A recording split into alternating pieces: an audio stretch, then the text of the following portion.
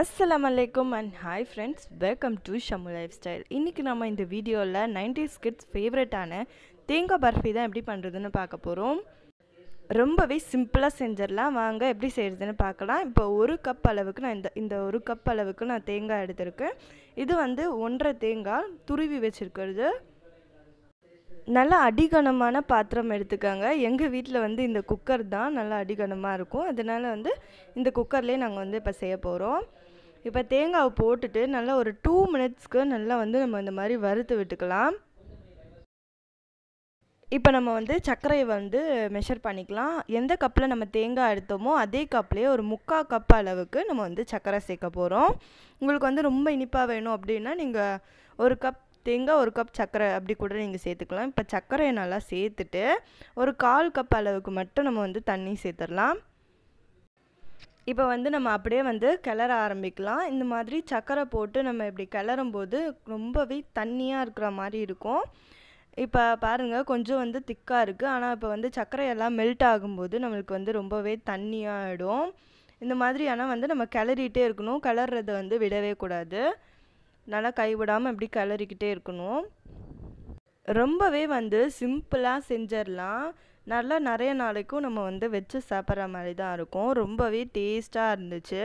ரொம்ப இப்போ தண்ணி ஆகிடுச்சு பாருங்கள் இப்போ இது வந்து நல்லா வந்து கெட்டியாகணும். நல்லா வந்து அல்வா பதத்துக்கு வரணும். அந்த மாதிரி வந்து நம்ம வந்து இன்னும் நம்ம வந்து குக் பண்ணணும். அந்த மாதிரி கலரிக்கிட்டே இருக்கலாம். பாருங்கள் இப்போ கொஞ்சம் வந்து நம்மளுக்கு வந்து திக்காக ஆரம்பிச்சிருக்கு. தண்ணியெல்லாம் வந்து அந்த தேங்காய் உறிஞ்சிட்ருக்கு. பாருங்கள் நல்லா கொஞ்சம் திக்காக இருக்குது இப்போ இந்த டைமில் வந்து நம்ம ஏலக்காய் தூளும் ஒரு ஸ்பூன் அளவுக்கு நெய்யும் சேர்த்துடலாம். ஏலக்காய் தூளில் வந்து நாங்கள் சர்க்கரை போட்டு அரைச்சிருக்கிறதுனால ஒரு ஸ்பூன் சேர்க்குறேன். நீங்கள் வந்து கம்மியாக கூட சேர்த்துக்கலாம். நல்லா இந்த பாருங்கள் நல்லா வந்து சுருண்டு வந்துருச்சு. இந்த மாதிரி வந்து நல்லா வந்து திக்காகிடுச்சு நல்லா சூப்பராக இருக்குது பாருங்கள் நல்லா அல்வா ஸ்ட்ரக்சருக்கு வந்துருச்சு. நல்லா சூப்பராக இருக்குது இப்போ வந்து பக்கத்துலேயே வந்து நம்ம இந்த மாதிரி வந்து நெய் தடவின பாத்திரம் வந்து வச்சுக்கலாம். இந்த மாதிரி தட்டில் வந்து நான் வந்து நெய் தடவி வச்சுருக்கேன்.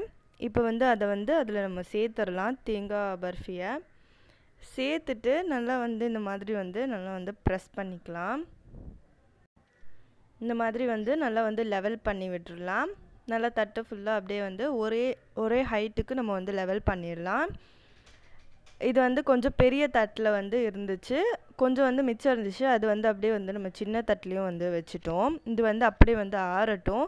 ஒரு ஹாஃப் அன் ஹவருக்கு நம்ம ஆற விட்டுடலாம். ஹாஃப் அன் ஹவருக்கு அப்புறம் வந்து நம்ம பீஸ் போட்டுடலாம். இப்போ வந்து லைட்டாக சூடாக இருக்கும். நம்ம சூடாக இருக்கும் போதே பீஸ் போட்டால் தான் நம்மளுக்கு வந்து கரெக்டாக வரும். நல்லா இப்போ பாருங்கள் ஃபுல்லாக வந்து ஆறிடுச்சு. இப்போ பாருங்கள் செம்ம அப்படியே நம்ம பிக்கும் போதே நல்லா வந்து ஜூஸியாக நல்லா டேஸ்ட்டாக இருந்துச்சு. நல்லா சூப்பராக வந்திருக்கு.